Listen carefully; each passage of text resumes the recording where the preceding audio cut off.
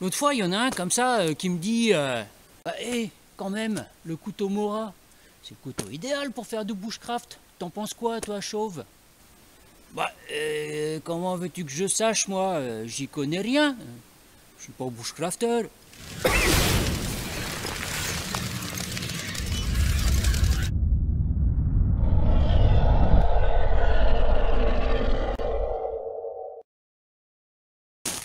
Alors, ça, les couteaux Mora ou Bako, les premiers prix, est-ce que c'est l'outil idéal ou est-ce que c'est vraiment adapté à faire du bushcraft? À mon avis, ben non. Allez, je vous laisse là et je vous dis à bientôt pour de nouvelles aventures. Et ciao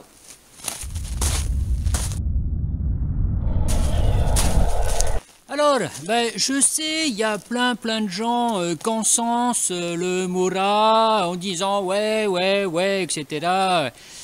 Bon, il y a une chose qui est bien sur le Mora, c'est un, c'est un couteau quand même super budget. Un Opinel aussi, par exemple. hein. Bon, est-ce que c'est l'outil idéal pour faire du bushcraft? Ben, euh, il manque, à mon avis, pas mal de choses. Ouais, c'est un petit couteau qui est sympa, mais pour, on va dire, faire une utilisation bushcraft, même comme si je disais, moi je suis pas du tout bushcrafter, ben, il manque quand même plein de choses dessus. Euh, on a un couteau, on a un étui, oui, mais si on veut s'en servir un petit peu dans la nature, surtout si vous n'avez pas vraiment l'habitude, c'est une vidéo qui est quand même plus pour les novices que je suis en train de faire. Donc un petit couteau pour débuter, oui, mais gros problème, il y a plein de choses qui vont pas sur les couteaux Mora, donc euh, on, va, pas dire bas de gamme parce que c'est quand même relativement de la bonne gamme, mais dans la gamme, on va dire de prix qui sont tout à fait abordables. Je vous parle pas euh, des Mora qui coûtent euh, 100, 100 boules et même plus de 100 boules. Bah, là, à mon avis, c'est de l'aberration. Mais bon, c'est un autre sujet. Mais ce petit couteau, si on a envie de débuter avec ça, pour une quinzaine de boules à peu près, ou 10 boules, je ne sais plus exactement combien ça coûte, il y a quand même des petites choses qu'on peut faire sur son couteau, et ça de façon absolument super facile. Même euh, si toi qui me regardes, tu as 10 ans, et ben à la limite, tu peux le faire. Déjà, il faudrait peut-être que tu saches te servir d'un couteau en sécurité et pas te couper tous les doigts. Sinon, c'est tes parents qui vont être, euh, avoir quelques problèmes. Bon, euh, les soucis qu'il y a sur ce couteau. Quand on veut euh, s'essayer un petit peu au monde de l'outdoor, eh ben, on va dire, ah ouais, on peut faire des feather sticks, etc. Bah oui, mais d'un autre côté, euh, t'as pas de fire steel avec ça. T'as pas de moyen de faire du feu. T'as pas non plus vraiment de moyen d'écorcer les petits bouts de bois que, tu as.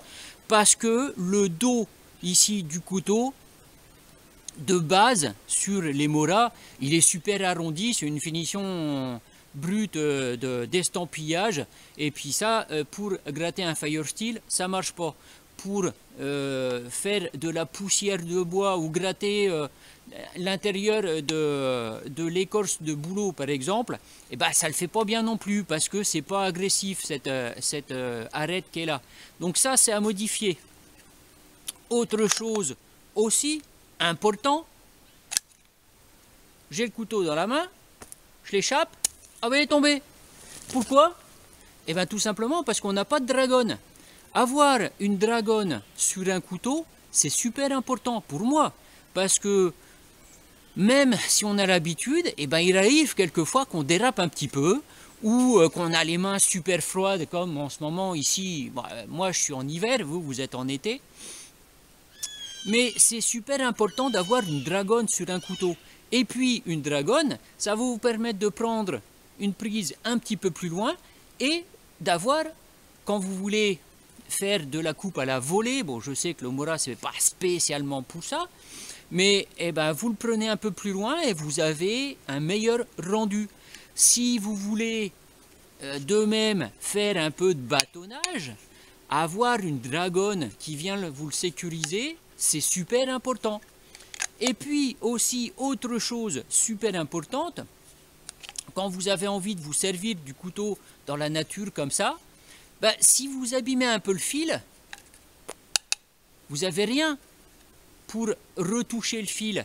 Donc ça, c'est des modifications qui sont super, super faciles à faire et que je vais vous montrer. Alors, première chose à faire, c'est retoucher cette arête dorsale ici pour qu'on puisse venir gratter un fire steel. Parce que d'origine, avec le Murad de base comme ça, vous pouvez toujours essayer, vous ne ferez jamais d'étincelle. Hein. On a beau faire ce qu'on veut, quand on arrive à sortir une toute micro-étincelle, euh, il faut déjà s'estimer heureux. Retoucher l'arête dorsale, c'est pas très compliqué. Vous prenez tout simplement votre pierre aiguisée ou la petite pierre de base comme ça, ou euh, là, le DMT, j'ai fait une vidéo dessus il n'y a pas très longtemps, et il suffit tout simplement de retoucher l'arête pour qu'on ait justement des parties agressives sur les côtés. Donc ça, c'est tout simple. Hein. Il suffit de prendre un petit peu de temps et puis de retoucher comme ça. Évidemment, à la pierre, ça prend un petit peu de temps. Si vous avez accès à une meuleuse, une disqueuse, euh, c'est beaucoup plus facile. Vous montez un disque à la vous passez un petit coup de disque dessus et le but c'est vraiment d'avoir des arêtes agressives. Vous allez voir que c'est bon quand, en grattant l'angle du pouce, ça vous fait des petites poussières. Alors, une fois qu'on a bien fini de retoucher et qu'on a les angles à peu près partout sur toute la surface, parce que tant qu'à faire, il faut gratter sur toute la surface. Après, quand vous avez à travailler avec le couteau, c'est plus simple que si vous avez une toute petite partie qui, a été euh, usinée.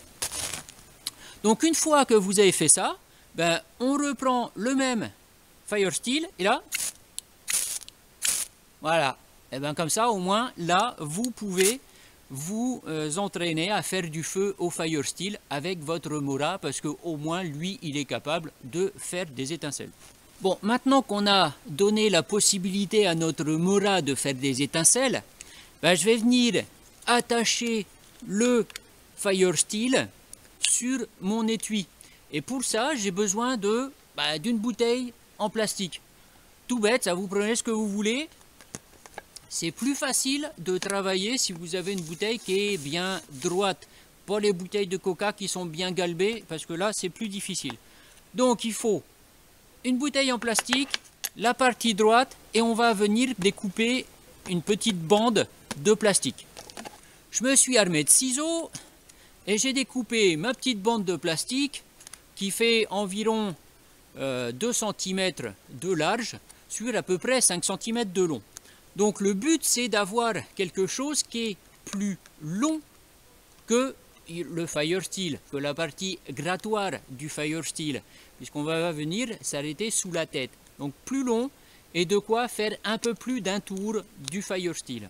Bah, tout simplement ce que je vais faire, c'est que je vais rouler ma petite feuille de plastique autour du fire steel. Et donc ça, super, super serré. Si on a des problèmes pour rouler ça, euh, on peut s'aider à avec une petite paire de pinces à bec rond et on commence le roulage avec la paire de pinces. C'est plus facile. Donc une fois qu'on a créé notre petit tube, donc on va venir rouler ça super super serré autour du fire steel et on va venir y mettre des petits morceaux de duct tape pour le tenir serré. Voilà mon petit tube avec le duct tape autour et le but c'est d'avoir un tube qui est serré sur le fire steel pour qu'on ait un bon maintien dessus. Et là, vous voyez qu'il ne tombe pas tout seul, mon fire steel. Et ça, on va venir le sécuriser sur l'étui. Donc, je viens le placer à l'endroit que je désire. Là, en l'occurrence, je vais aligner la tête du Fire Steel avec le bord de l'étui pour pas que ça me gêne à la sortie du couteau. Et je vais tout simplement sécuriser ici avec le Fire Steel en place par des bandes de duct tape. Là j'ai mis une bande ici, une bande au milieu et une bande sur le haut. Ce qui est super important, c'est de super super serrer en fait le duct tape puisque c'est ça qui va nous vraiment nous maintenir le Fire Steel en place. Et là, il faut vraiment voilà, tirer pour sortir le Fire Steel. Il va pas tomber tout seul. Voilà. Donc là, trois petites bandes. Euh, bien sûr, je peux en mettre un peu plus encore autour, histoire que ça tienne vraiment bien. Il y a des gens qui vont dire, oh, bah oui, mais ça peut bouger d'un petit côté ou de l'autre.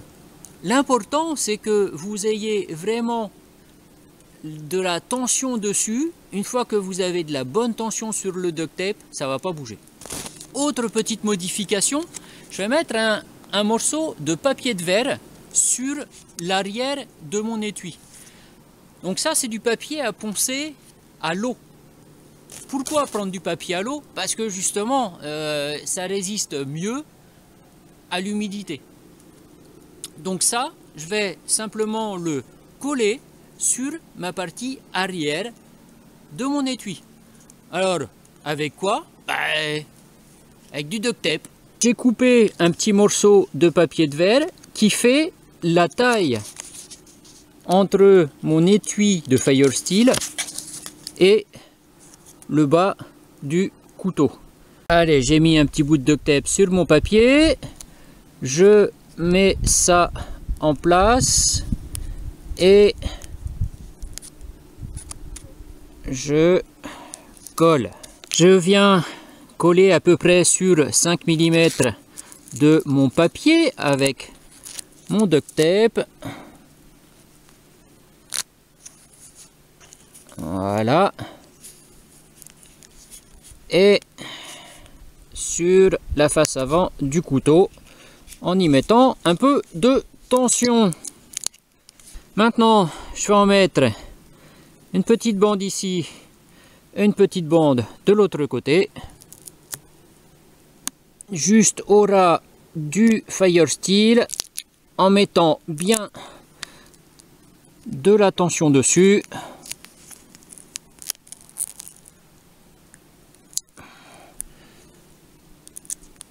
Voilà. Et même chose en bas. Je mords à peu près 5 mm aussi dessus. Et c'est pareil, j'enveloppe le Fire Steel. Voilà, beaucoup de tension.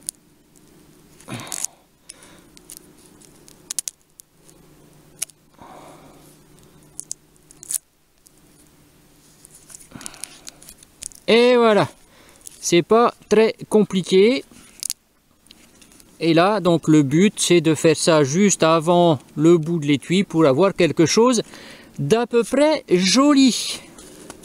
Donc là maintenant quand je veux retoucher un petit peu l'affûtage de mon couteau et eh ben tout simplement j'ai derrière mon étui un petit peu de papier et je peux en venir en tirant légèrement refaire l'affûtage léger de mon couteau. Et comme le dos de l'étui du Mora est légèrement bombé, et eh ben ça fait qu'on peut venir travailler assez facilement sans toucher sur le duct tape sur le côté. Allez, une petite chose donc qui me reste à faire, c'est de mettre une dragonne sur ce couteau. Donc je vais percer le manche alors soit vous avez une perceuse et puis vous faites un petit trou, soit vous prenez une pointe que vous chauffez et que vous passez à travers. Je vais venir faire mon trou juste dans la partie plastique ici, à la limite du caoutchouc et du plastique. Alors quand on a donc une perceuse, c'est pas très difficile. quand on n'en a pas, eh ben, je vais venir chauffer ma pointe.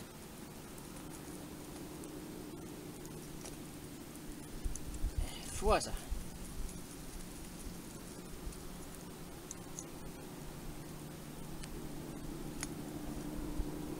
Le gaz, ça aime pas le froid.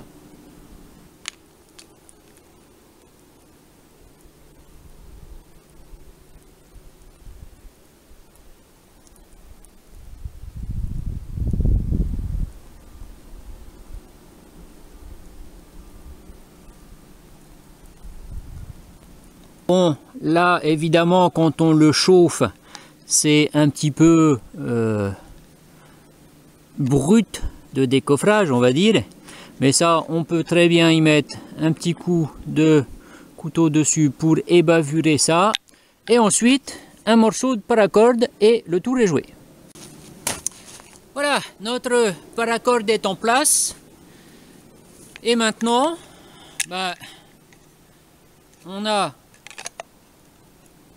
Maintenant, un couteau qui est un peu plus adapté au bushcraft. On a de quoi travailler avec l'arête dorsale pour gratter un fire steel. On a l'emplacement du fire steel. On peut venir retoucher son fil et on peut venir travailler en sécurité parce qu'on a une dragonne. Et là, maintenant, oui, c'est un outil qui est un peu plus adapté pour commencer le bushcraft. Et la dragonne, eh ben, quand on veut sécuriser le couteau, on passe ça dans le clip de ceinture et puis là, une fois la ceinture en place, vous le perdrez jamais, votre couteau. Voilà.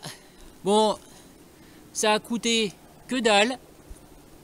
Ça, en temps, ça représente pas grand chose non, plus au niveau du travail.